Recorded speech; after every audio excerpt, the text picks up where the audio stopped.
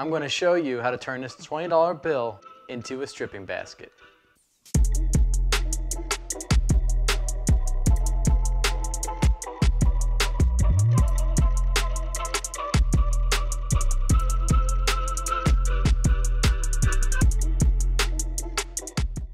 Links to all the materials used in this video will be in the description below. But I will say, when it comes to getting the funnels, I do recommend going to your local auto parts store. I tend to see the prices in person being a little bit better for those. I am using a design that I've never seen anywhere else. These funnels look a lot like what you see when you buy a stripping basket in the stores. I only put four in there because I thought less is more. The other thing that's really neat about what you might see about this design is it's got a curve right here. If you think about the way the hip is shaped, you can put that right down on the hip and it is completely ergonomic.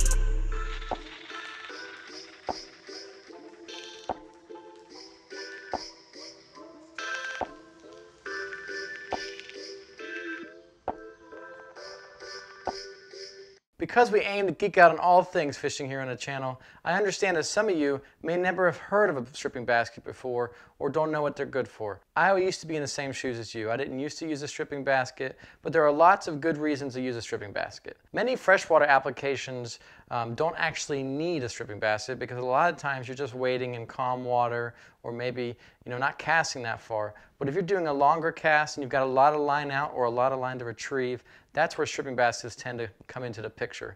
But I use my stripping basket for both saltwater and freshwater alike because I do a lot of kayak fishing. And a lot of times, even with a good kayak, you're going to have chances for that line to start getting pulled by the current or getting snagged on the boat. So I love it. It helps me maintain my line. It also can help extend the life of your line sometimes because there's less grit, there's less rocks, less you stepping on the line.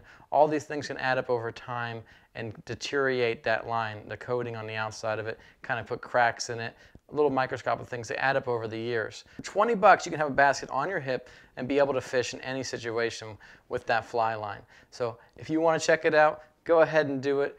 this video should have given you enough information on how to build your own. And if nothing else, this video should have at least taught you a little bit about why people use stripping baskets or why you might see that weird thing on someone's hip when they're out there fly fishing. Let's cover something real quick. This is something I saw on the internet recently. Since we're talking about maintaining fly lines and stripping baskets, this is not a string, okay? We don't call it string. If you call your fly line a string, that is a quick red flag for someone not to hang out with you ever again. Now, we all make mistakes, so I'm not judging. If you've done it in the past, go ahead and put a little stop on that now. You know, conventional line, I've heard it called string. Mm, there's some ups and downs about that too. But when it comes to fly line, I've never met someone that I want to fish with twice that called their fly line string. So please, let's put a stop to that online, in person, anywhere. That's your tip for today. Don't call your fly line string. It's an easy one. Hopefully none of us are struggling with it, but who knows. So if you liked anything about this video, go ahead and hit the comments below with maybe your own experience with stripping baskets. Maybe you've built some of your own and you want to go ahead and let us know how you've done it.